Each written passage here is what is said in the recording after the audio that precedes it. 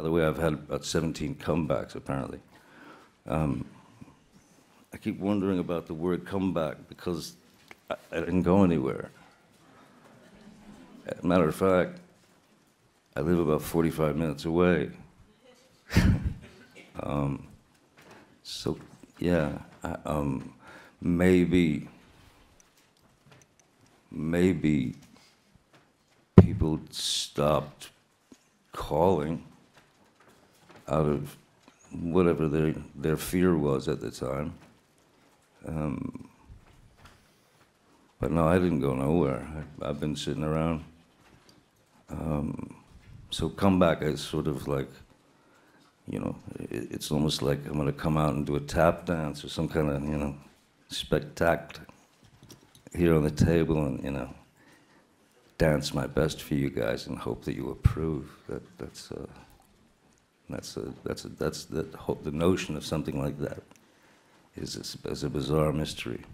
Did I feel boycotted by um, Hollywood?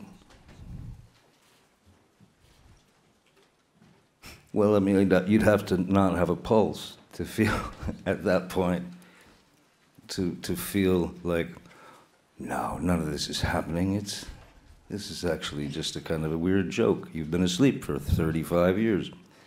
Um, so just let the weirdness commence of course, you know, I mean, when you're asked to resign from a film you're doing because of something that is merely a bunch of kind of vowels and consonants floating in the air, um, yeah, you feel a bit boycotted. Do I feel boycotted now? No, not at all. Um, but I don't feel boycotted by Hollywood because I don't think about it. I don't think about Hollywood. I don't. Uh,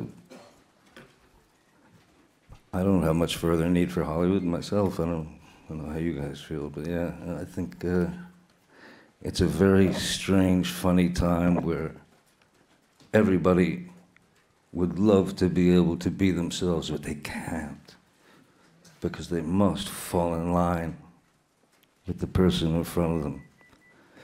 You want to live that kind of life, I wish you the best. I'll be on the other side somewhere, you know. Everything that the majority of you who've been reading for the last five or six years have been reading, uh, I mean, with regard to me and my life, the majority of what you've read is fantastically, horrifically written fiction. Um, so,